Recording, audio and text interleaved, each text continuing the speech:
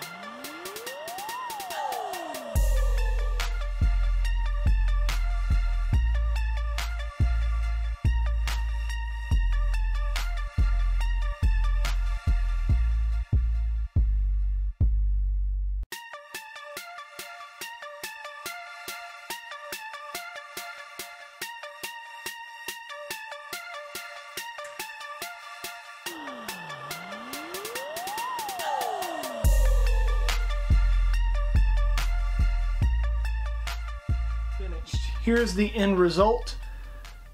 Definitely looks like holotape. I realize that's not how it looks in game. I just kind of added that to give it some extra dimension uh, because it's just basically a square. So why not make it cooler? Making a prop. When you make your own prop, you can make it however you want to. I realize that this should be seven slots instead of five. I don't need every troll telling me, oh my god, I didn't do it right. I know. Calm down. There are reasons for adjustments. I'm lazy and didn't want to have to cut out those things and try and sand with a little bitty tiny bit. So I just used the smallest sanding bit that I had and ended up with five instead of seven. So calm down. The reels in here are real. real reels. Boom. Wordplay. Um, my wife found them at a garage sale and thought, hey, my husband could use this pile of garbage, so let's buy it for him. And there it is in a holotape. Thanks, hon. Maybe you'll try and make one of these for your very own and your friends will be super impressed with your scavenging abilities throughout the wasteland and will want to then scavenge themselves. Maybe you'll get some... Yay! And inevitably they're going to ask you, how'd you make that? You can give them one of these. Tell them. Much props. I don't want to break copyright laws.